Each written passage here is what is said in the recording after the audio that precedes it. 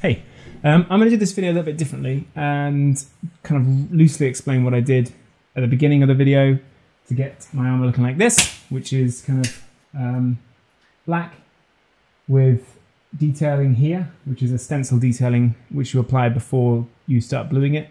Um, rather than talking over the video, it's fairly self-explanatory. Um, I thought I'd just point out what I do here, and then you can just see the process um, at your leisure. Um, but essentially, what I do is I initially remove the grease from the uh, armor, which inevitably builds up between events. Uh, it can happen during an event, it can happen after an event. Um, steel armor gets rusty, is essentially what happens. So, what you need to do is you need to get some different gradients of wire wool, some WD 40, and some pink stuff, or some other kind of polishing uh, medium which you apply to the rusty areas and you kind of have to use a bit of elbow grease to get rid of it. That's how I start the video. I then go into a degreasing process using engine degreaser which um, removes all that WD-40 and other oils and skin, skin, um, other oils from the metal so that the uh, blackening kit can, uh, can work. Then you go through the blackening stages, which is uh, stage one, which is to remove the oils again. Um, I recommend doing that quite thoroughly. I don't think I did it quite thoroughly enough.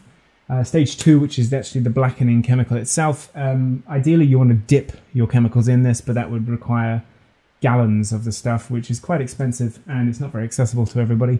So I apply it with a sponge in a tray. It kind of worked. Um, it's not as uniform as it would be if you dipped it but you can still get a nice effect um, by doing that. You get a bit of a gradient over the whole thing with some areas getting more than other areas.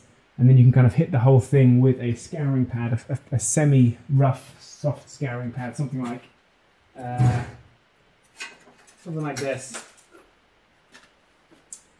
Um, and then you can just kind of even it all out of it. Uh, so by yeah scouring the whole thing after after you've uh, applied the second stage of the blackening, giving it a little rub down with that scourer helps even out everything so you've got the nice kind of blackening effect over the whole thing. I think it would be much more severe and much more like much darker, much more even if you dipped it, but I didn't have enough money to do that.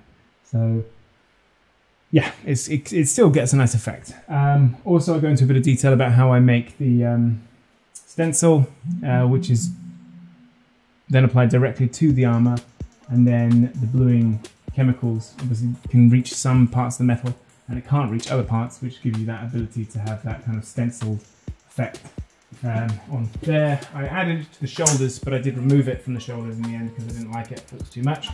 But in the process, you can see as I do it, and obviously on the back here as well, uh, there's more of the stencil, which I think is quite nice. Um, but yeah, essentially, I'm not going to talk over the video this time.